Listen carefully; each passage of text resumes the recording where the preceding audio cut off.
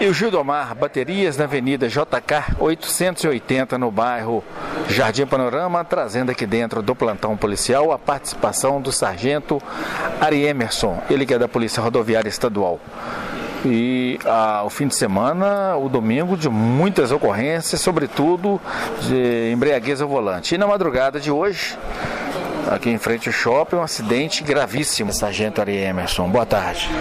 Boa tarde, é curioso, né? Não é a primeira vez que a gente se fala hoje, é ao longo da noite, né? Já é um novo dia, mas enfim, um indivíduo mais cedo trazido aqui, é, preso pelo crime de embriaguez, um outro agora há pouco, e agora um acidente, o condutor a princípio sozinho no veículo, se vitimou gravemente, e a informação inicial que a gente vai verificar é, indica de que ele também está embriagado. E a gente está aqui noticiando isso para tentar conscientizar a população, tentar fazer as pessoas entenderem que não existe é, a menor possibilidade de a pessoa com o mínimo de consciência entrar num veículo e se propor a conduzir em via pública depois de ingerir álcool, consumir qualquer outro tipo de droga, né? É, isso ceifa vidas, muitas vezes, das pessoas do veículo ou até de terceiros inocentes. E um detalhe, né, Sargento Emerson, de acordo com os comentários aqui, no local do acidente, ele teve, assim, é, graves fraturas, enfim, a situação dele não é nada confortável. É a temática de, de um acidente de trânsito, né? É, sobretudo quando o indivíduo está embriagado, que muitas vezes acelera um pouco mais, é, quando não há o óbito, muitas vezes a pessoa leva sequelas para o resto da vida.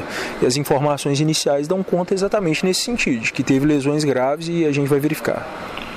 E claro, né, fica a orientação mais uma vez aí nessa jantaria Emerson, de que se dirigir não beba, se beber não dirija, para preservar a própria vida e, claro, principalmente a vida de terceiros, que às vezes não tem nada a ver com isso. Aliás, nem sempre tem nada a ver com a história, né?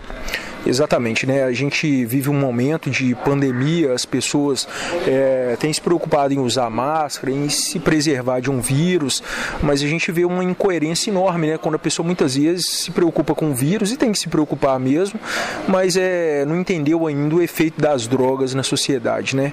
Não só do álcool, como das drogas em geral. Então a gente tem que refletir e ser coerente e compatibilizar nossas atitudes, entender melhor os reflexos das das nossas ações e se conduzir de uma maneira prudente. Rapidamente, Sargento Emerson, hoje, quantas ocorrências o senhor trouxe aqui na Depol e quais são as características dessas ocorrências? Já duas ocorrências de pessoa presa, embriagada. Né? É o mais notável que a gente teve hoje, que se repetiu, foi esse fato de o condutor embriagado e dirigindo em via pública e quando faz isso, expõe a todo e qualquer cidadão, até mesmo aquele que comunga da mesma ideia de beber e dirigir, até mesmo essa pessoa é, não sabe, mas ela fica exposta com esse tipo de conduta, porque ela faz, o outro também faz. Então as nossas famílias em geral ficam expostas. E os policiais que fazem parte da equipe do Sargento Emerson? Além de mim, Cabo Celso e Cabo Lomeu.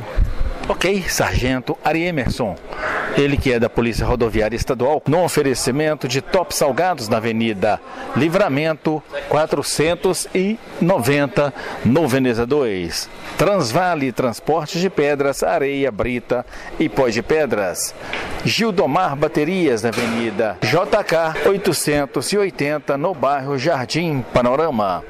Sem tropeço, seu nome e endereço, repórter J. Passos.